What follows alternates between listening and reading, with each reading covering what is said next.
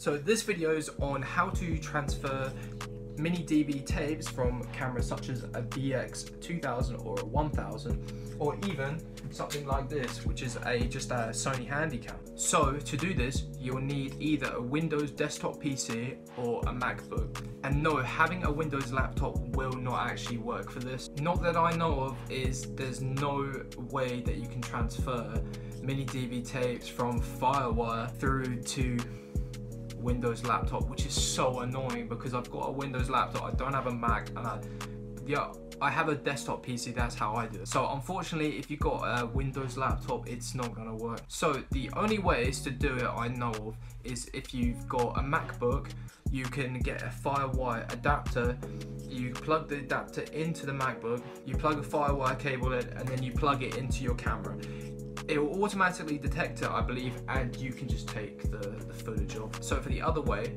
is the way I do it, is put up on screen now a video, is there's a Firewire card that you can buy. It'll work on any desktop PC.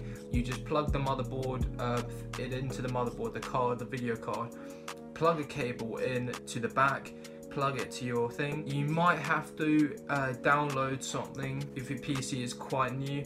It might not recognize the camera because it is quite an old camera. You'll need like an old version of Windows Movie Maker or something it will recognize that and then you can take the footage off. It's not a too hard thing to learn how to do. If you need any help, comment down in the comment section and I'll, I'll definitely help you. Thanks for watching this video guys. Uh, let me know if you need any help and I'm, I'm there to help. So Alright, thanks for watching. See you later.